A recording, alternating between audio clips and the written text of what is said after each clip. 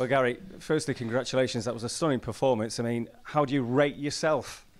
Yeah, um, I kind of expected nothing less. Um, I have high standards. I work very, very hard, and I have high expectations of myself.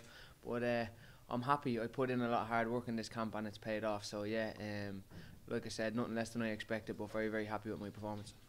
Again, it's been a couple of quick fire finishes for you now. I mean, it didn't look like you were looking for big shots, or uh, uh, obviously with it, the the shot that that really did the damage was a great shot, but you were kind of still patient, if that makes sense, even though you got him out there so quick. Yeah, I, I kind of just go in relaxed, calm, and uh, that's when the that's when I get into my flow, and that's when the shots come when I'm when I'm flowing and when I'm relaxed. Um, you go in there looking for these big shots. It's kind of you kind of tense up, and it's harder to find them. So, um, I try and go in and, and be calm as possible and uh, get in my flow as quick as possible. And like I say, that there's dynamite in that left hand, and when it lands, it puts people down. And uh, I timed a nice shot, and uh, yeah, put him down. Yeah, he was unbeaten. But I think that's the problem that you're going to pose people in terms of obviously your height, which is unbelievable for a lightweight, and the fact that you are southpaw as well, and the big left hand. It is a, it's going to be a massive problem. Uh, again, uh, you know that, but that's a, a weight you can make very easily. Apparently, is this true? Yeah, I was uh, actually eating squares bars, Rice Krispie squares bars behind the stage at the weigh-in yesterday. I was uh, half a pound under and was looking at the rest of the fighters a little bit tight on the weight, and they were kind of maybe calling me a couple of names under their breath and stuff. But uh, yeah, I'm making the weight quite easily. Um, I believe I'm only kind of maturing and growing into the weight now. Um, so yeah, I've got another while here. I want to chase world titles here and big titles, big names, and uh, I've got another while left at 135 and a lot of work to do here for sure. So what is next as far as you're concerned?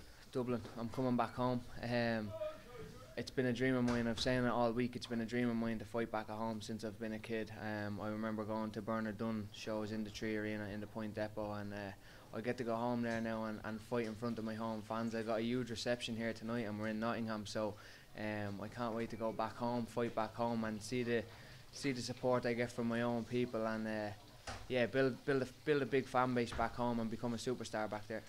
I know a few names have been bandied around already in terms of Maxi Hughes, Linares, whatever. But whoever it is, with the 9,000 or so in that arena, with Katie, with yourself, with, you know, there has been a lack of the big time boxing, just kind of put into words what it would be like to be in that arena what people can expect in Dublin. They can put Godzilla in there in Dublin against me, and uh, I won't be I won't be losing because uh, it's a, it's going to be a magic night for me. It's going to be a dream come true um, 9,000 Irish. I believe I could be a little bit biased, but I believe we're the best fans in the world.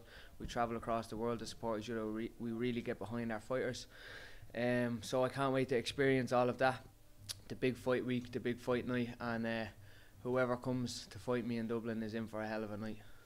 You got to think, well, you know, being from Kildare, you, have got the Curragh, you've got the K Club, you've got Christy Moore. You're right up there now, aren't you? you are making a proper name for yourself. Uh, yeah, I don't know about that just yet, but um, by the time my career's over, hopefully, yeah. Um, we've got a, a, lot of big names in, in not only in Kildare, in, in Dublin as well, and uh, across Ireland. But I want to go down as one of the greatest athletes that, that Ireland has ever produced. I believe I'm on course to do that, and uh, keep working hard, keep believing in my talent, and uh, keep putting in performances like that. And it's only a matter of time.